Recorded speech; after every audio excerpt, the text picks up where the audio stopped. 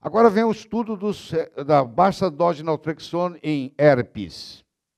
O Dr. Barreri tem vários casos, totalmente resolvido. O paciente aparece com herpes, você dá o dose de naltrexona, o herpes some.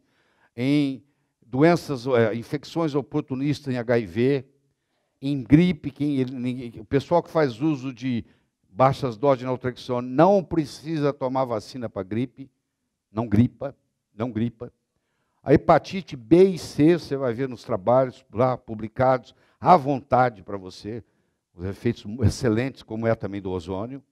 É, encefalite japonesa, tem uma encefalite chamada encefalite japonesa, resultados também espetaculares.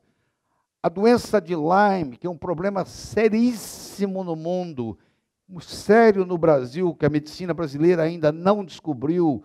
Mais de 40% dos brasileiros estão contaminados com borrelia e não sabem.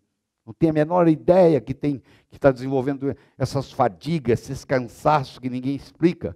É por doença de Lyme, que já chegou ao Brasil. Você pergunta para os infectologistas, não, o Brasil não tem doença do carrapato. Não tem o quê? Está cheio de borrelia aqui. E borrelia é um negócio complicado para tratar. Nós já tô, comentamos sobre isso aqui. Olha aqui, ó, mais uma aplicabilidade para low dose naltrexone no tratamento da doença do carrapato, da borrelia. Mais uma. Hã? AIDS. Em geral, as pessoas com doenças que são parcialmente ou em grande parte ativadas por uma deficiência de endorfinas, inclusive câncer e doença autoimune, ou são acelerados por uma deficiência de endorfinas, como o HIV AIDS, restauração da produção normal de endorfinas corporais é a grande ação terapêutica da baixa dose de naltrexona. O Dr. Barreri fez um estudo por 12 semanas é, com LDN em pacientes com AIDS.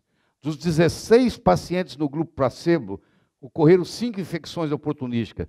Nos 16 pacientes tratados com LDN, 4,5 miligramas à noite, não ocorreu nenhuma infecção oportunística. Você quer remédio melhor do que isso? Baratinho, sem complicação nenhuma para AIDS. Zero. Após o término do estudo, 12 semanas, todos os pacientes receberam LDN por mais três meses. Ou seja, ele tem, vem tratando disso desde 1980, até, até ele morrer, até 2010. Ele tratava disso. Então, o HIV, para virar AIDS, se tiver LDN, não deixa virar AIDS.